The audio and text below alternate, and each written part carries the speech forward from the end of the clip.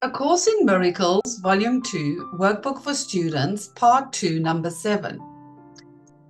And that is all about what is the Holy Spirit.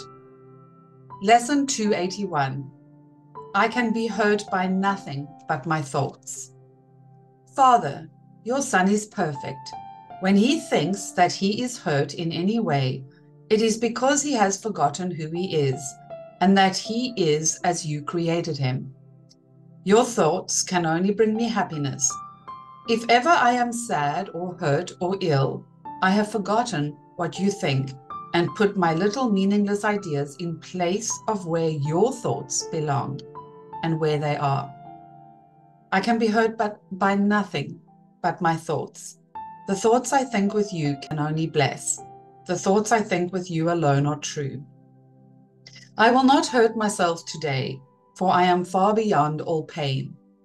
My Father placed me safe in heaven, watching over me, and I would not attack the Son he loves, for what he loves is mine to love as well.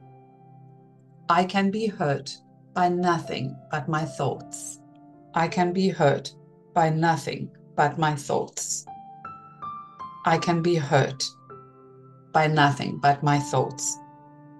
As the sentence shows, this is the footnote, the emphasis in this lesson is that I can be hurt by nothing but my thoughts, since God's thoughts can only bring me happiness.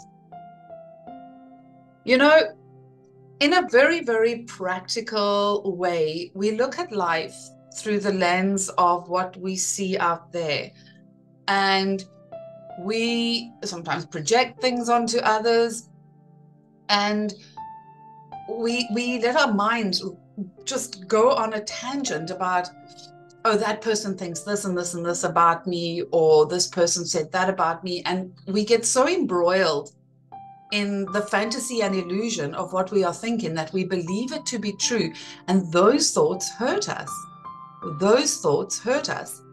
And at the end of the day when you stop and you look at it and you go, wow, my emotional state is in such a mess and it's really scrambled and all over the place because 99.9% of my thoughts is a mere perception of what I think is happening. And those thoughts hurt me.